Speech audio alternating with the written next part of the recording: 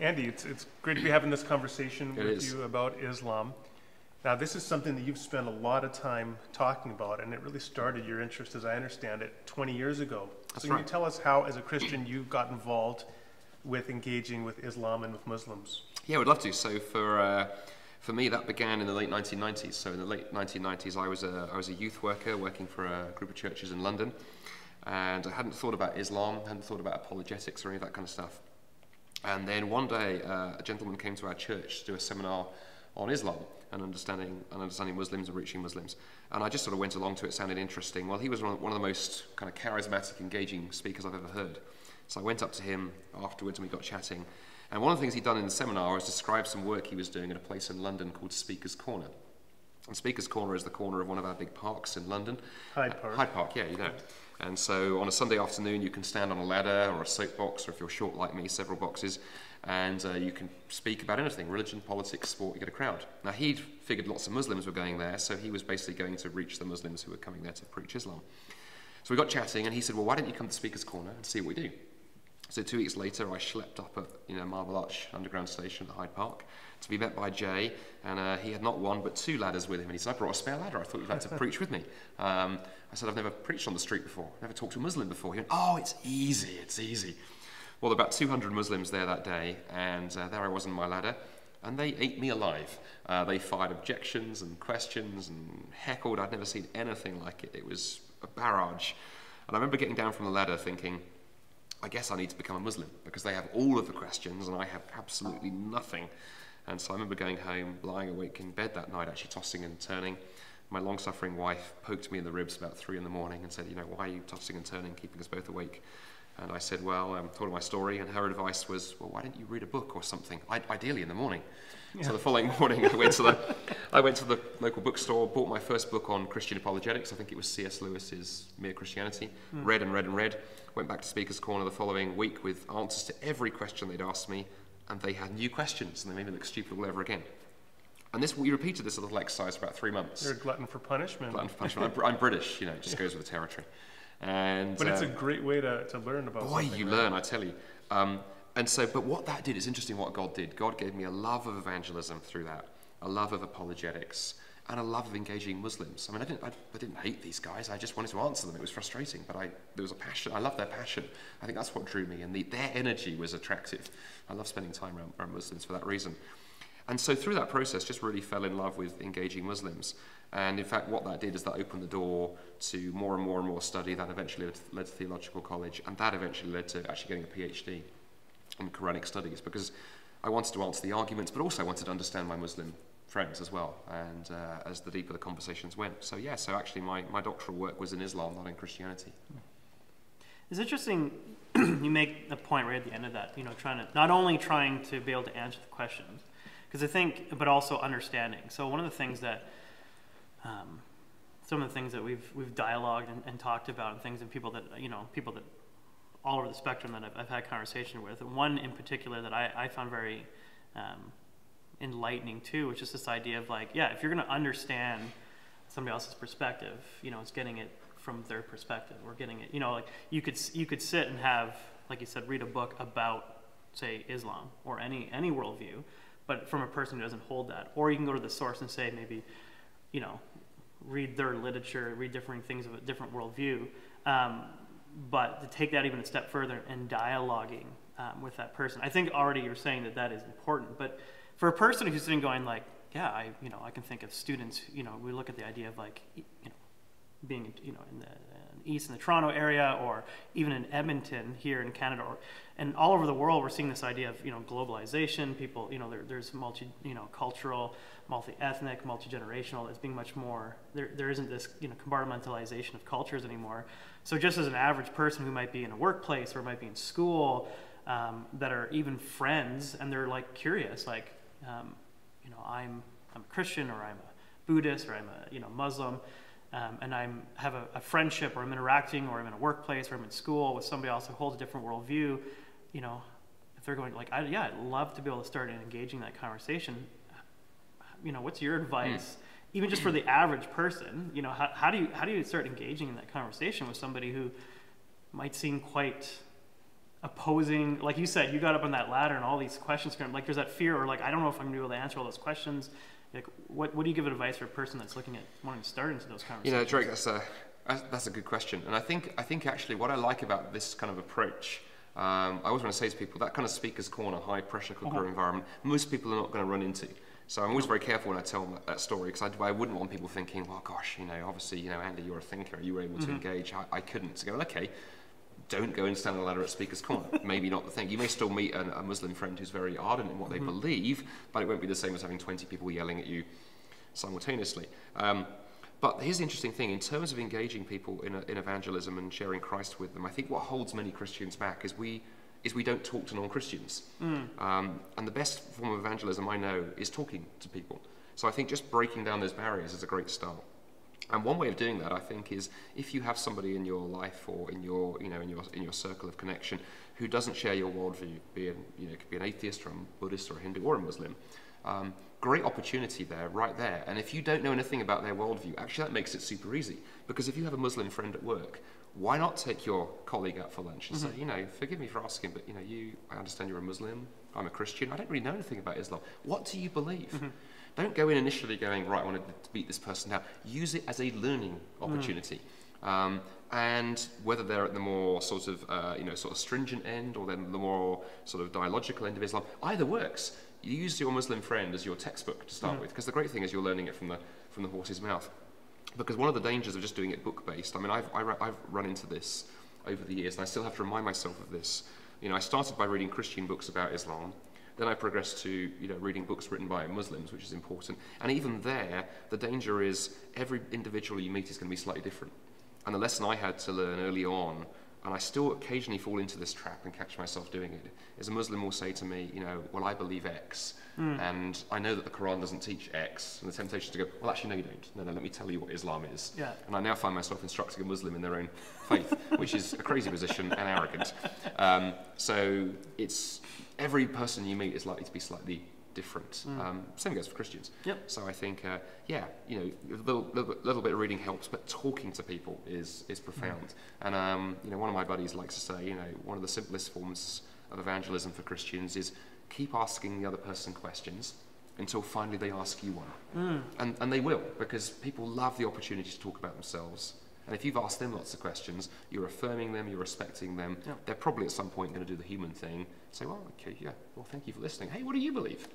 And now you've earned the right, Yeah. and you're not going to come across as a sort of, you know, Christian trying to beat them into submission. Mm-hmm. You're having a conversation. Conversation's great. That's why God made coffee.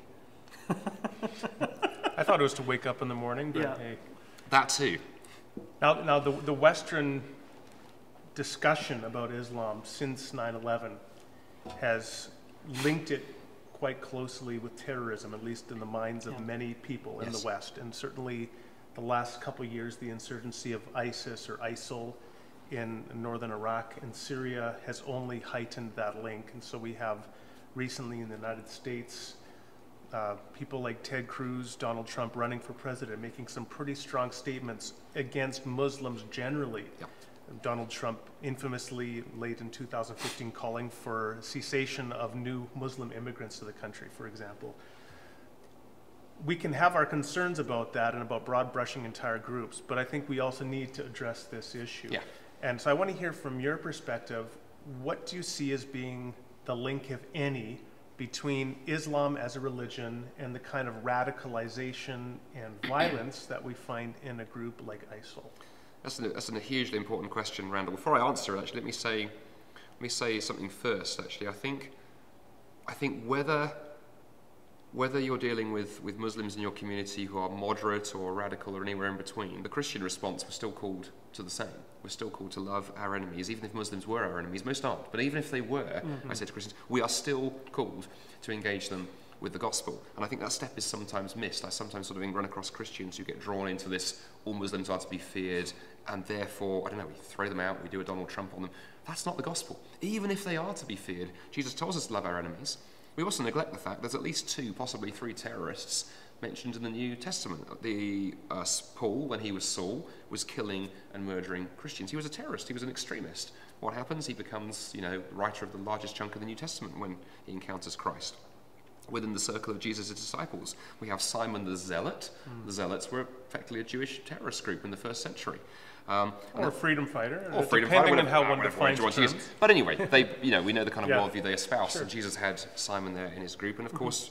Uh, Judas uh, Iscariot, although his story didn't turn out quite so well, you know, potentially the name Iscariot comes from Sicarii, you know, the dagger men who went around murdering high-profile Jewish collaborators. And Jesus welcomed these, these, these guys into, into, his, into his group. So as Christians, the first thing to remember, whoever we are dealing with, and uh, I have a good friend of mine who runs the only Anglican church in, in Baghdad, in Iraq, uh, a guy called Andrew White, known as the Vicar of Baghdad, actually. I encourage listeners to Google Vicar of Baghdad. Andrew's story is amazing.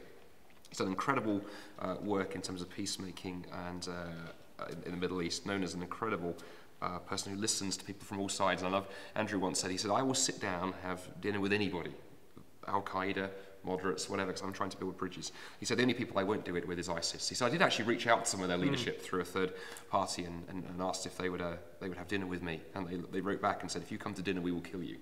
And he said, maybe I won't do that then. Um, but I think as Christians, that's a good model. Now, the theological question, which you asked uh, a few minutes ago, I wanted to put that, that missional context in. There are two mistakes I think that people can fall into around ISIS uh, and extremist Islam. Uh, the, what, the first mistake is to label every Muslim as terrorists or extremists, everybody. So that lovely Pakistani next door neighbour of mine, you know, I suspect that he's building a nuclear bomb in his, in his garden shed. I need to be afraid of him. Every Muslim is a terrorist and extremist. Wrong, wrong, wrong, wrong. The majority of Muslims are moderates. The majority of Muslims here in North America uh, and the West have emigrated here because they want to build families and have security and raise children, have jobs and home, all the things that we want to. Um, that's why they're here. We forget that many of them have come here to escape the nonsense in the Middle East, not to export it. So I have absolutely no time for the Donald Trump end. It is, it is lunacy, and it's for those anyone who call themselves Christian, it's not an option. And it plays into the hands of ISIS too. It does as well, exactly. Absolutely, it does.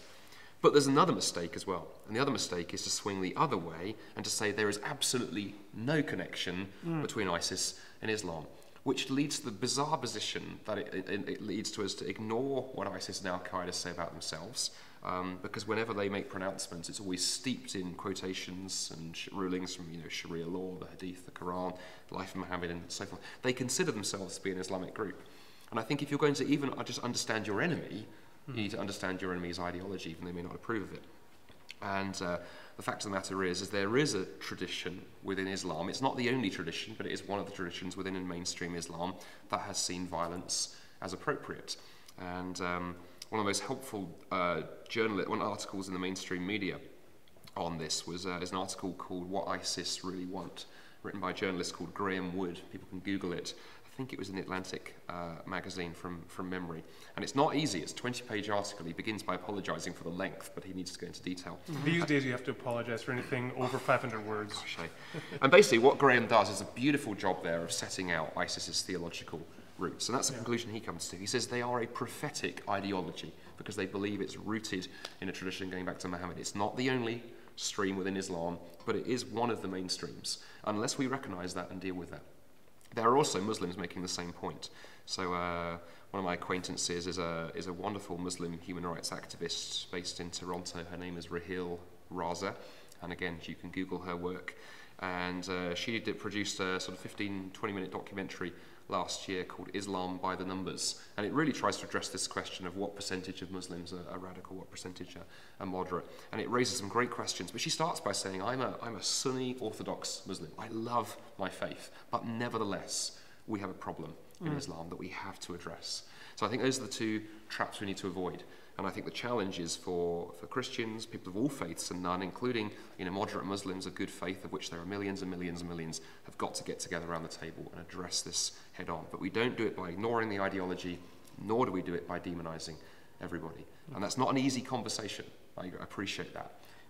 Well, I think I think the thing that I, what I think I appreciate what you're hitting on this too is that in a lot of these conversations, and we've we've kind of tackled this in writing and in some of these videos too. In Bold Cup is just this idea of like the false dichotomy, right? So it's like it's easy to go in any conversation on any topic to go, well, you see these two extremes, and it's easy to want to do the all or nothing, right? To say Muslim is you know the, the Islam faith, the Muslim faith is all about terrorism because I see this, or you go to the other, you know, um, social perspective and say because of these people, because of Donald Trump, because of the people that are voicing these things, you want to go to the other extreme because that guy sounds like a jerk, and so I want to defend my Muslim friends, and so then I go to the other side of the, of the argument and just say, well, that's not fair. No, there, there's no danger. Why, why are you criticizing? You know, and to have this, like you said, to have this hard conversation, I, it, it really makes me want to want to push the question a little bit further. I'm going to put you a bit on the hot seat. Go for it. And and maybe maybe I'm not sure how you want to answer this question, but a lot of the conversations that I'm seeing online too, as for Christians, is this balance between what you have said as a Christian to be about love and about compassion and about service and loving our enemies, while at the same time also being a citizen mm. of whatever country, be it United States, be it the UK, be it Canada, going when we have let's just let's let's really bring it down to even the things with the refugee conversation of like there's these fears of you know um, the the strategy of ISIL or ISIS you know bringing in insurgents through the refugee you know um, you know aid and so as a citizen and a Christian there's this conversation that I've been seeing online be it you know social media or blogs of how do we how do we both be compassionate while also being you know um, safe or, or, mm. or wise and, and not just you know putting people at danger. And I think that that's a that's a question a lot of people are trying to wrestle with of this whole refugee conversation. So if yeah. somebody to ask you that question, how would you how would you go about answering it? I guess. Do you know, it's a great question. In fact, I had, you know, I was, I was recording a radio program earlier in the week, and uh, the radio host, uh, who was an American radio station, I mean, put basically, you know, very same question to me, but a bit more sort of sort of uh, teeth in the in the question. Mm-hmm. It was, you know, well, why should you know, we allow all these refugees in? But if, if, they, if, they, if, they, if, they, if they've all got Kalashnikovs under the bed, I mean, is this a wise idea? Yeah. So we had to, I had to deal with that a little bit and go, trust me, they don't all have Kalashnikovs uh, under the bed. But yeah. you know, but the point is still there. I'm going to be really honest with you, uh, Drake. And I wish I knew the answer. Yeah. I think I think the most the most helpful conversations I think on some of these deepest issues come when we map out the pieces we have to play with, put them all on the table, and then try and roll up our sleeves and, and wade in. Mm-hmm. Because I think what you've done is you've mapped out the tensions to yeah. go. We want to be a we want to be open and hospitable. hospitable. As Christians, we're, we're called to be that. As you know, as Canadians, yeah. this is a country that was built on, on immigration. We want to we want to welcome mm-hmm. people. Okay, so that goes on the table. That's part of who we are. We can't let that go. On the other hand, we also have the issue that you know ISIS, ISIL, Daesh, however we label these guys, um, do have a strategy. We've seen what's happened in, in Europe. Mm-hmm. I mean, look at look at Brussels, look at look at look at Paris. So the question has to become, you know, how do we put the checks and balances in? Now I can slightly cop out, I guess, and go because I'm not a politician. Yeah. And actually, one of the things, in all seriousness, I say this to Christians. Sometimes I get Christians say, "What should our response be to ISIS?" I do sometimes say, "Well, if you're involved in the if you're not involved in the politics, in politics or the military, yeah. the answer is nothing. You can't do anything. Um, realistically, you can think these issues through, but you're mm-hmm. not a policymaker. We perhaps other than pray for and encourage our leaders. I think we have to be honest about the conversation. We also need to understand the ideology. I think one of the things that's gone wrong in politics in the West is because politicians are afraid of touching some of these hot seat issues, the conversation hasn't been had, mm -hmm. which means we're not equipped. On the other hand, I think the other thing that policymakers have fallen into the trap of is just not understanding theology. I think too many Western politicians have bought into the idea, what I like to call the kind of Marxist view of religion, that it's all about economics. Yep. Um, you know, and so if we could perhaps just solve the issues on the ground, if we create more, I think was it Hillary Clinton some, was famously sort of said, we just, the solution to ISIS is more jobs in the Middle East, that's the solution. And I sort of vaguely understand where that's coming yeah. from, I'm not picking on, on her, that, that's, a, that's a liberal politician who doesn't understand theology, just sort of scrabbling for an answer. I don't think that's enough. So I think it's how do we start talking about the importance of theology, um, both good and bad. I think God has been pushed out of the public square, mm. And I could partly understand why people are afraid of that conversation. We've got to bring it back in again because there's good religion and there's bad religion. Mm-hmm. Um, how do we assess the difference? What are the right kind of questions that we should be asking as we assess people coming in as refugees? Yeah. How do we how do we diagnose some of these? What do we look for? What are the signs that radicalization is perhaps going on in and around a mosque?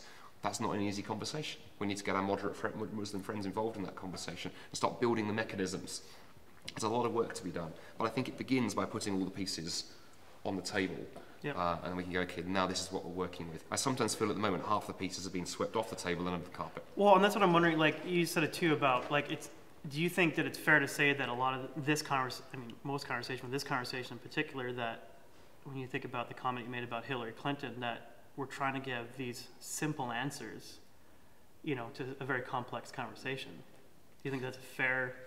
I think so. I think I think partly I'm a great believer actually in that you get the politics you deserve. So It's mm-hmm. very easy to blame the mass media mm-hmm. for the, you know the uh, the juvenile the juvenilization of politics. But then let's be honest, who consumes the mass media is us. Mm. If all of us voted with our feet and you know turned off you know Fox News and CNN and CBC and just boycotted the mass media, they change what they sell us because Yeah. they're just out to sell a product. But we do live in that age, and so politicians operate in a world where they know the thing they say is going to be tweeted and around the world, and so you know everyone's thinking in terms of what fits into 140 characters, for Yeah. example, and that's reduced politics, I think, to uh, you know to a game of just posturing and sound biting. I think that's half that's half the problem. There's a bigger question lurking but here, isn't there? How do we create a space in the public square where we can really talk about deep issues? uh, that are complex and not and politicians not be afraid of saying, well, I guess if I say this as I'm thinking out loud, it's going to be instantly tweeted. Yeah. And for Christians, I say this is why we need to pray for our leaders because I would not want to be a politician in the current climate. It's really, really tough. Really, really tough. I have sympathy for those on all sides. I even have sympathy for the Trumps Yeah. of the world because what's made him the person he is? He's playing to a crowd. Um, Clinton's playing to her I thought it was a spray tan, but Do you not think orange is a good look? uh, it works for him, I suppose. That, I'd like to, to, to turn to this phrase that we often encounter in these discussions, and that's the clash of civilizations. Samuel Huntington, yeah. the West and the East, or the West and the Middle East. And I think in that can certainly be overplayed, but I, I'd like to just highlight one important difference that I think probably is there, and I'd like to get your feedback on this. Throughout most of the history of the Christian church, there was no sense in the Christian church of religious freedom. And that began to change. It really changed in the 17th century after, in particular, the Thirty Years' War. Uh, 1618 to 1648, there was this growing sense in Europe of the fact that you should not or try to compel belief in other people, that people should have their own right to believe religiously as they so choose. And you would know in England after uh, the Glorious Revolution, 1689, 1690, that really changed. So that, yeah, you could be a Baptist, you could be a nonconformist to the Anglican Church, and you're not going to go to prison, hmm. right? And this is, or, or face any censure. And this was, this was a big change. Now we just sort of assume that hmm. you don't compel belief in other people, that people shouldn't be punished for having the wrong doctrines, at least by the state. Is it the same uh, in the Muslim world, or is there a different understanding of religious freedom vis-a-vis the state and punishment and compulsion? That's a great. That's a great question. It actually ties into the, the, the earlier one just in this degree that sometimes if I'm feeling mischievous and you know the questions about you know kind of refugees comes up, I sometimes like to point out to, to North Americans that you know many of us here, our ancestors came here as refugees, often to escape religious persecution. I mean, look at how America was, was founded with, uh, with people coming you know to escape quite what was going on in, in the UK. So we should at least be open and sympathetic. In Islam, it is a different case. A number of things are going on uh, in Islam. Historically, Islam has always considered uh, religion and politics to be part of the same conversation. You know, we have this idea built into the West of the separation of church and state, as you rightly point out. It wasn't always there, but we've we've built that very carefully. Um, and I think it's something that's, that's precious. And I think one of the dangers is that we've now grown up in a, in a, in a culture that's had this for so, for so long that we just assume it's natural. You know, well, who wouldn't want to think in terms of religious freedom? The answer is this is, we're, we're a blip in history in terms of free speech and freedom of religion. And I think it needs protecting. It's something, it's something special. Now, because Islam threw those two things together, uh, if you read the Quran, the Quran talks both about religious things and, uh, and more sort of societal politics ideas, often jumbled up into the same into the same context. And then very shortly after after the Islamic civilization began to be built in the in the centuries following Muhammad, Islamic jurisprudence begins to develop and be built up, and the four schools of Sharia law are developed and are, and are codified. And built into Sharia law are a number of uh, prescriptions on religious freedom that I think cause problems. Uh, all four schools of Sharia law uh, are pretty clear when it comes to apostasy, uh, the freedom to change one's religion. It's not, it's not there uh, historically in Islam. And blasphemy is the other one. Now, when you look around the world today, those are two hugely hot topics. Um, there's been a lot of work done in the West on religious freedom issues in the past few years, particularly the, the Pew Forum in the, U- in the US have been instrumental. Of the research there, the UN now tracking uh, religious persecution statistics. And it's interesting, which who, whose ever numbers you look at, um, when you look at the top sort of 10, top 20 countries for religious freedom issues in the world today, with the exception of China and North Korea, it's always Muslim countries that top the, the hot list for, for persecution on the persecution indexes. And I think it's Sharia law is the problem. I always want to actually try and separate out when I talk about this perhaps on universities and say the problem isn't Islam per se, the problem is you know Sharia. To mm. in the paraphrase the sound of music, how do you solve a problem like Sharia? How to get a cheap joke? Ooh. I know, I know. Bazinga, as you would say. And um, and yeah, and so what's interesting when you look at surveys that have been done, I think you and I were at the, uh, a, a dialogue event last night, Randal, and I brought the figures up there you know, if you look at the numbers, uh, when Muslims are surveyed in, in Muslim majority countries and ask questions like, what do you think should be the punishment for apostasy or for blasphemy, those numbers track pretty high. I think in Egypt it's north of 80% of Muslims surveyed think that you shouldn't be allowed to change your religion. Mm. Um, yeah, that, that, that, similar kind of numbers as you sweep across the, the Middle East. And uh, so one of the problems is that uh, um, the the Pew Forum's uh, study on religious persecution a few years ago concluded that the unifying factor in where religious freedom is under threat is once the state begins interfering in religion, which is where you started in your question, that's where the problems begin. And the problem is that Sharia gives a, a Muslim government a built-in method to interfere uh, mm-hmm. in, relig- in, in, religious freedom. And so this is the huge issue uh, in Islam. Uh, and to be fair, this doesn't just apply to, you know, to Christians and other religious minorities, it can apply to Muslim minorities. Sure. Uh, so I have many friends who are Ahmadiyya Muslims, and Ahmadiyya, the Ahmadiyya are a sect of Islam considered heretics by, by many Sunni Muslims. They have been horrifically persecuted in countries like Pakistan. Um, I meet there's a lot of them driving taxis in Toronto, and it's always mm. interesting. I remember a few years ago, a, a Muslim driving me from the airport, and we got talking, and I said, "Where are you from?" He said, "Pakistan." And, he, and I said, oh, so what brought you to Toronto? He went, well, we know we're not considered good Muslims back home, so my family had to flee here. And I said, were you, are you members of the Ahmadiyya community? It's incredible. His whole face lit mm. up in a said, you've heard of us?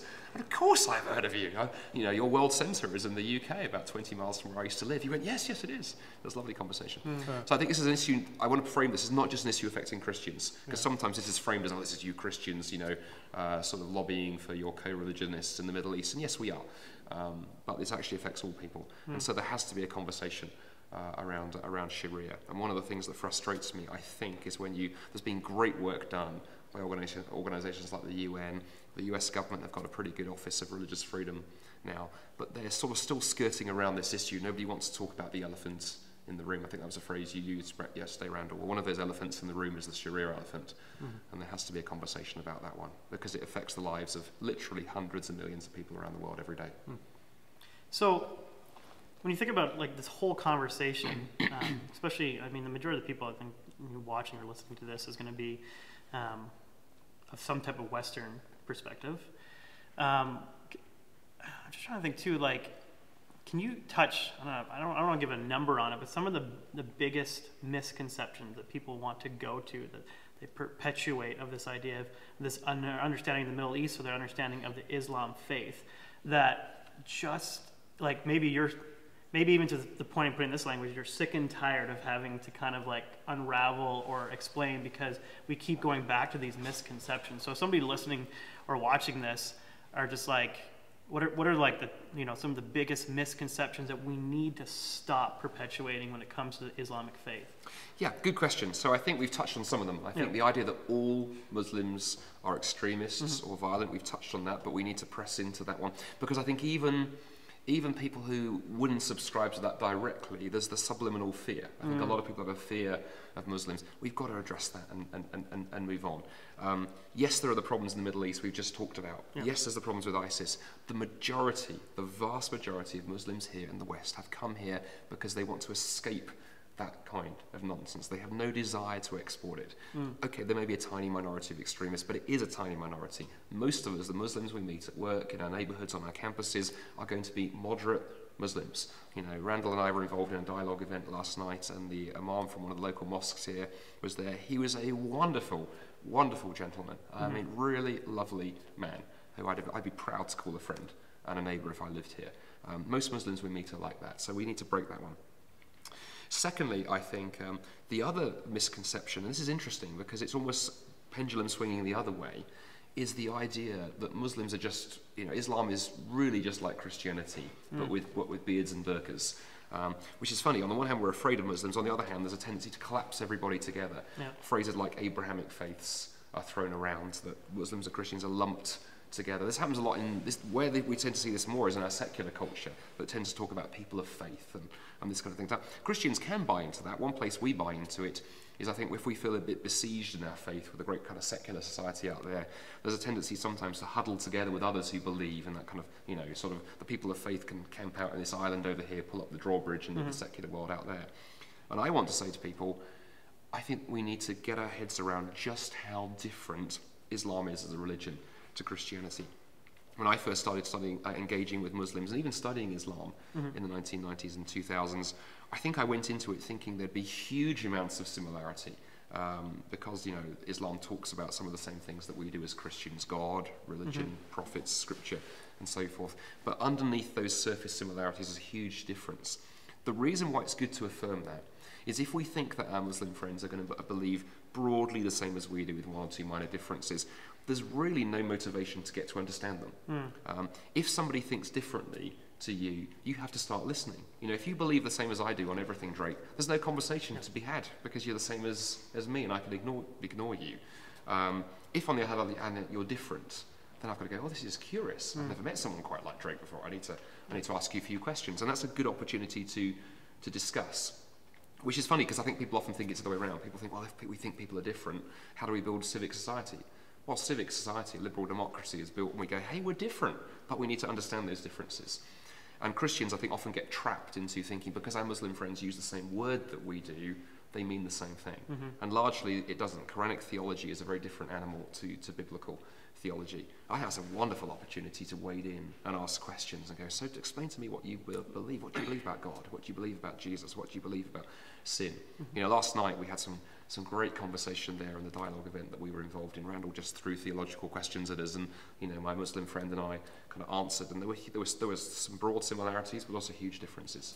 So appreciate the differences, get away from this fearing Muslims business, and then reach out and make friends with our Muslim neighbours. If there are Muslims in your street, you know, go knock on their door, invite them over for coffee you're on campus or at work and there are Muslim students, Muslim colleagues, go sit with them. If you're a Muslim on campus listening to this, if you're a university student and there are Muslims on your campus, go to their university groups. Don't just go to the Christian campus group. Go to the, go to the Muslim campus group. Sit at the back. Trust me, they'll come to you and ask who you are. Great opportunity to make friends. Mm-hmm. One more thing I'd, I'd like to come to. It's a I feel bad about raising it because, in a sense, it's a big topic. But I also think it gets a, it gets into the theology and into what mm. might be some of these differences and it was one that's really dominated the conversation yeah. in the last few months. so there was a, a, professor at Wheaton College in yes. December of 2015, and she was expressing solidarity with, with Muslims and some of the, the fear and anger toward the Muslim community in the United States. And one thing she said in, I believe it was a Facebook post, was that, uh, quoting, I guess, from St. Francis, uh, from Pope Francis, not a saint yet, uh, quoted from Pope Francis that Muslims and Christians worship the same God. And this phrase has, it, it led to a parting of ways ultimately between Professor Larycia Hawkins and Wheaton College, but it also has spawned all sorts of discussion and debate in the Christian and evangelical community in particular. Do Christians and Muslims worship the same God? So I'd like to throw that question out to you, get you to sort of parse it apart a bit and then give your response. Yeah, exactly. It's a, it's a great question, and, and you're right, it's amazing the way it's kind of set the conversation ablaze. I was in Chicago um, about four weeks ago and uh, was due to be doing an open forum on uh, on atheism, and actually the organizer said, "Could we change it?" And we do. The Muslims and Christians worship the same God, and I think we had sort of six, seven hundred people wow. out that night. Huge interest. I won't comment on the Wheaton piece because I think sure. someone else's internal politics is, yeah. is, not polite, so we leave them to, to deal with that one. But the question do Muslims and Christians worship the same God? You know, it's, it's a perfect example of a bad question. That's one of the problems. By which I mean, sometimes there are questions that are really clearly formed. Sometimes there are questions that throw together so many different pieces you have to kind of untangle it. It's a bit like mm. five kittens and a ball of string.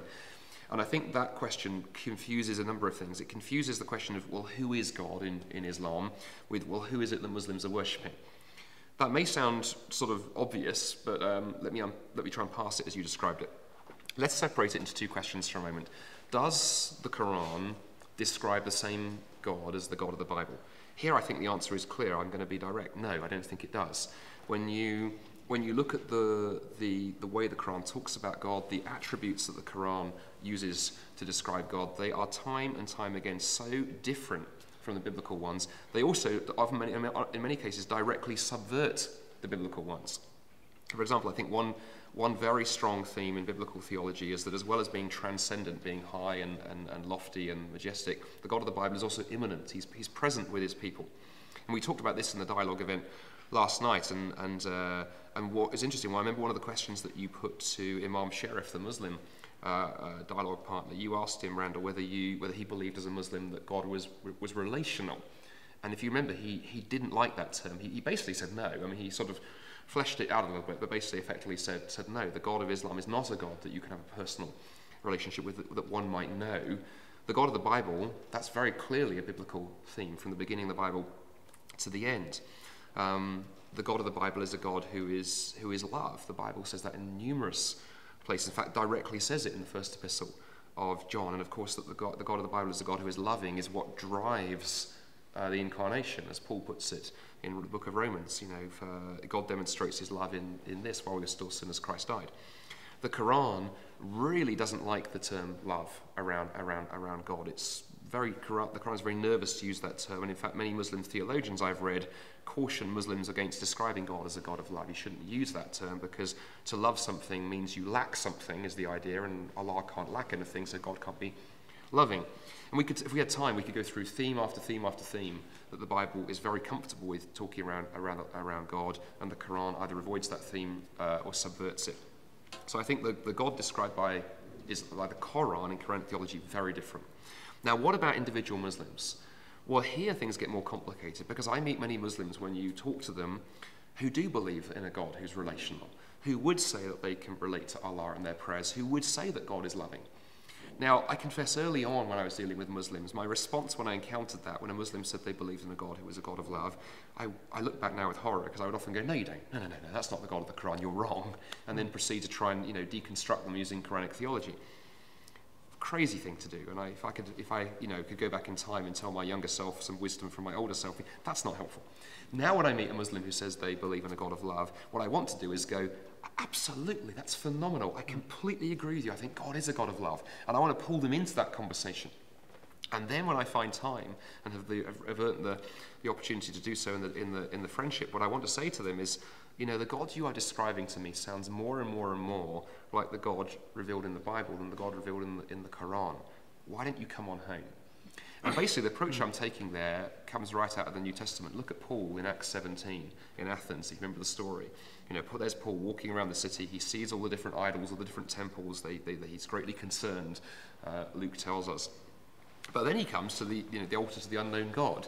Now, given what we just read, and given the fact that you know Paul, you know, is a good first century Jew with you know everything in him trained to sort of you know stand firmly against idolatry, one would have expected Paul to go, "You ridiculous Athenians," but he doesn't, does he? He uses this as a bridge building point to the gospel. Mm. Oh, you have this altar to the unknown mm. God. Hey, what you guys worship as unknown, let me describe to you. And I think in our engagement with many Muslims, that's a great model to go to yeah. listen to what they believe and where we can find those contact points pull them towards the God who's revealed himself, his, himself in Jesus. One of, the, one of my favorite biblical stories since uh, working with Muslims is consistently uh, Luke 15 and the story of the, well, we often know it as the story of the prodigal son. It's unhelpful because Jesus tells us that you know, there was once a man who had two sons. Mm-hmm. And in fact, in Arabic mm-hmm. versions of the Bible, um, the earliest Arabic translations of the New Testament, that story is known as the story of the compassionate father. And what I like, what I find fascinating about that story is the, the prodigal son we all know about. You know, he's the guy who goes and wastes all of his money on wild living and that kind of stuff. I think he represents in many ways the kind of typical Westerner who wants nothing to do with God. He's run away, you know, God, I want nothing to do with that. I want to live a life of free, unfettered consumerism. I think that's a great model there for dealing with mm. Westerners. But the older son, who we often miss, very interesting because he's the legalistic, uptight, moralistic one. You know, look at his conversation with his father. All of these years I obeyed you, I kept the commandments and, you know, tried to relate to you that way. And Jesus is making the point there, and he's addressing Pharisees, who are the legalistic, moralistic ones, that to go, you know, you can be as separated from God and as far from God through moralism and legalism as you can through hedonism and wild living. And every time I read that story, I think that younger, that older son is responding like a, like a Muslim, because the Pharisees were in many ways similar to, to Muslims in terms of they, the way they view the law and the way that they view that you please God. And there's a wonderful book by a New Testament scholar called Ken Bailey, what, who I think has some of the richest understanding of the parables that I know. Ken lived and worked in the Middle East for 40, 50 years, and so has really thought through you know, how the teachings of Jesus work in a Middle Eastern context. And he wrote a book called The Cross and the Prodigal, in which he basically does exactly that. He says this, this parable is wonderful evangelistic material for engaging with Muslims, people who think that it's all about the law, that it's all about legalism, it's all about moralism. And the love of the Father that's shown there, uh, the love that God has expressed in Christ, is what we want to draw people to. And so when I hear the whole question, who do Muslims and Christians worship? The Quran and the Bible describe two very different understandings of God. But I think because God has placed a desire for relationship into the human heart, as Augustine famously said, you know, our hearts are restless until they find their rest in thee we should find ways to bridge build to our Muslim friends, find those points of connection and draw them in to the God who's revealed in Jesus Christ. Seems a good note on which to end. Thanks for joining us. Well, thank you, Randal. Thank you, Drake. Yes, it's been a great you. conversation. Yes, for sure.